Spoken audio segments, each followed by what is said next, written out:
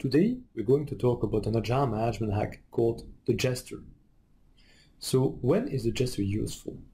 Sometimes we face situations where we have to challenge deep assumptions or habits. We might have tried traditional methods such as brainstorming or root cause analysis, but without success. We remain stuck in the politically correct. We might experience groupthink. Everyone's trying to second guess everyone else and in the end, we make a compromise no one is actually happy with. Moreover, a person who would dare telling the truth would risk embarrassment, open conflict, and sometimes take a personal risk. This is where the jester comes into play. The jester is a role that a person takes in an activity. This person may challenge anything during this activity. Here, for example, the jester challenges true intentions.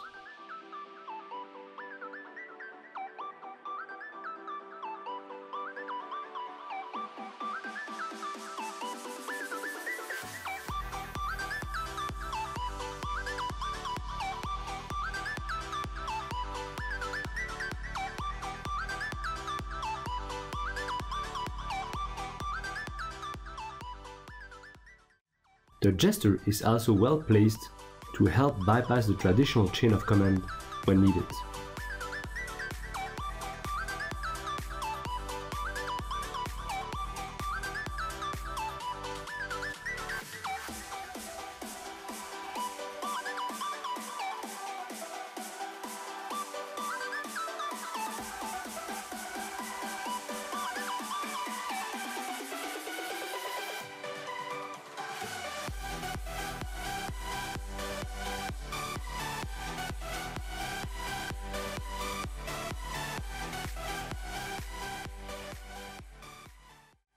Another typical use of the jester is to fight off analysis paralysis.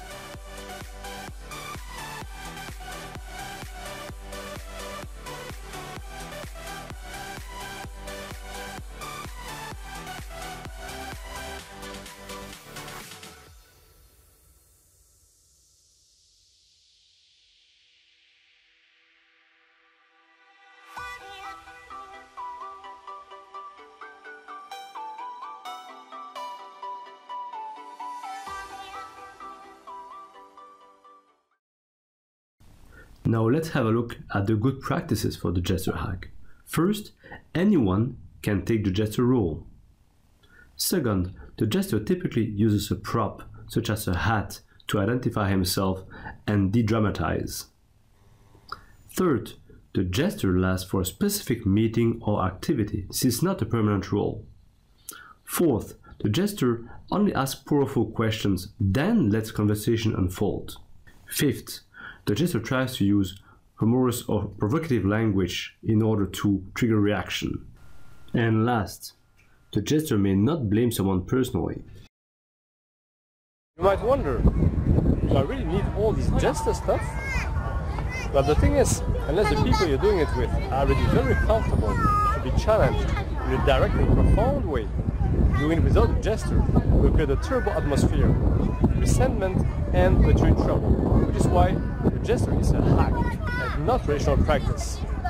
Remember, a hack is immediate, emotional, visible, and requires little preparation.